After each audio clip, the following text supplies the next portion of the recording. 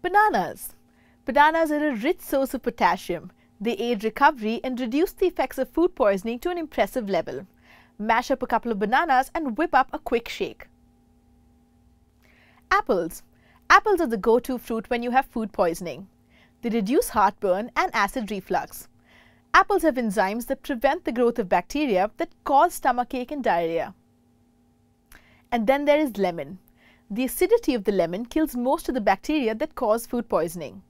Squeeze the juice of a lemon, add some sugar and take it just as you would any other medicine. You can also add lemon to your tea. Water. What would we do without water? Keep yourself hydrated when you're suffering from food poisoning because your body tends to lose a lot of water through diarrhea. Also, drinking water rapidly flushes out the toxins and bacteria.